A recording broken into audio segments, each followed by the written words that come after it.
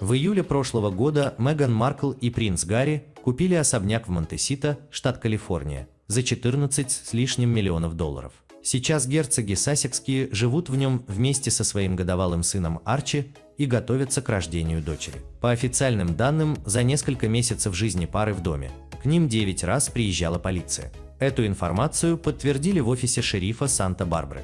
Там отметили, что полицейские получали звонки по телефону, а также выезжали на место после срабатывания сигнализации. Отмечается, что полицейские приезжали в дом пары четыре раза в июле прошлого года, вскоре после того, как Меган и Гарри переехали в Санта-Барбару из Лос-Анджелеса, где они жили в арендованном особняке. В канун Рождества из дома 39-летней Меган и 36-летнего Гарри в полицию поступил новый звонок после того, как на их территорию незаконно проник незнакомец.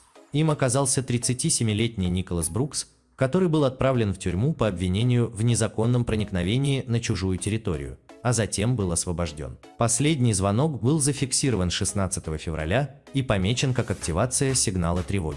В интервью Опри Уинфри герцоги Сассекские рассказали, что боятся за свою безопасность после того, как они сложили с себя королевские полномочия. Принц Гарри отметил, что никогда не думал, что после Мэгзита его перестанут охранять сотрудники британской службы безопасности, которая финансируется за счет налогоплательщиков Великобритании. «Я с рождения был в этом положении. Я унаследовал этот риск. Так что это было для меня шоком», – сказал он.